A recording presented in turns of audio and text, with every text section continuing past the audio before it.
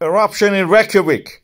Uh, the um, tremors actually were continuing for the last week and they were now changing to a harmonic way. So we have seen this harmonic way in the March 2021. Now in the January 22 or a few hours before that, we are seeing the volcano to the right, actually those two eyes, and beyond the horizon where the Reykjavik is, we see a lot of flames in the sky.